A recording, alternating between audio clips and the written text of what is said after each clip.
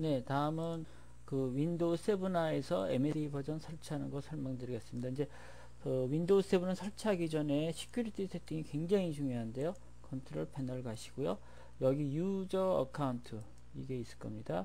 그 다음에 user account 그 다음에 change user account control setting에 가면 보통은 여기가 아니고 이 상태로 있을 겁니다. 이 상태. 그거를 제일 밑에 레벨로 낮춘 다음에 오케이 하시고 반드시 하셔야 될게 어, 여기서 물론 오케이 하고요. 어, 프로그램을 어, 컴퓨터를 한번 restart 해야 된다는 겁니다. 꼭 명심하실 건 restart 해야 되고요. 그걸 세팅한 다음에요. 그 다음에 언어도 한번 체크하는 게 좋은데요. 언어가 어, SQL 서버 언어 말하는데 컨트롤 언어에서 기본적으로 localization region인가요? 여기에 가셔서 어, region 가시고 여기서 administrative non-Unicode가 이렇게 English가 돼 있어야 됩니다. 그래서 아니면 요로 가서 English로 바꾸시면 된다. 지금 다 잘 됐고요. 그 다음에 이제 프로그램이 어, 다운돼 있어야 되는데요.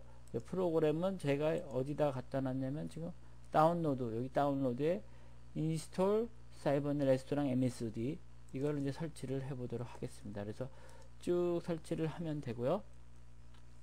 그 다음에 설치를 쭉 하면 next 이렇게 해서 쭉 설치가 될 겁니다. 그래서 XP에서는 마찬가지로 설치가 다 되면 이제 어, SQL 서버 쪽을 설치하게 되는데요.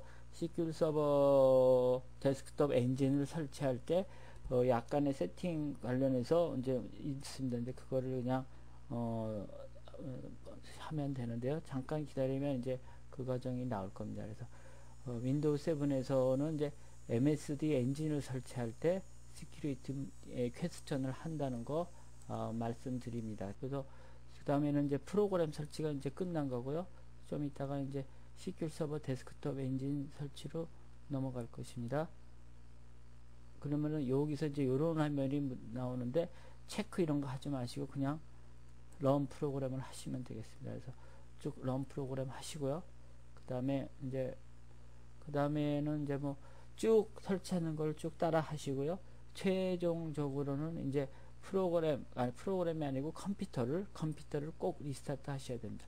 컴퓨터를 다시 restart 하시면 되겠습니다.